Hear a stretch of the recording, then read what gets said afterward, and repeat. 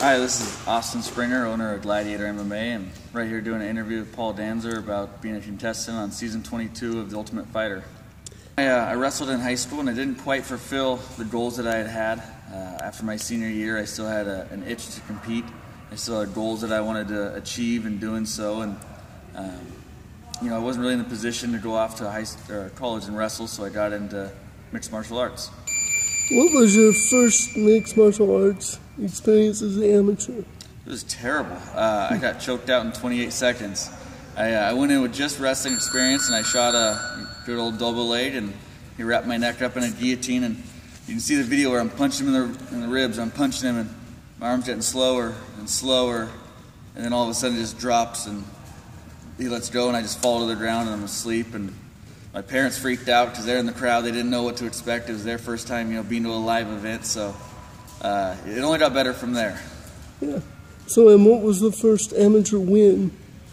Uh, it was the next fight. Uh, it was actually a really big fight uh, locally there.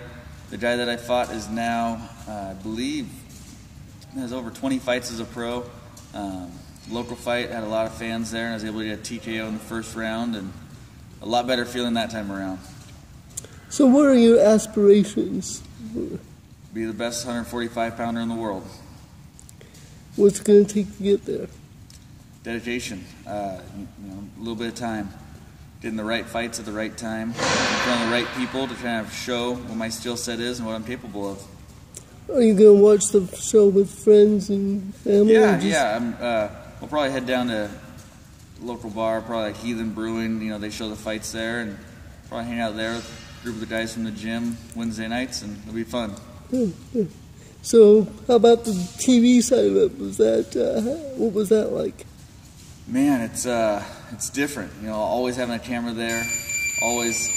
You know, the guys would joke about stuff that they're saying, like, "Is there a camera around?" You know, because they're talking about, you know, say the Reebok deal or whatever it may be, and uh, you know, always having the microphones there, the cameras on. It was a different experience. You know, you get used to it pretty quick because it's always in your face, but uh, initially it's it's different. So, what's your strength as a as an MMA fighter? I think the mental side of it.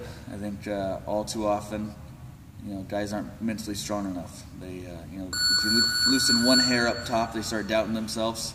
You can just take over from that point, and I think uh, the mental side is probably my best aspect. I'm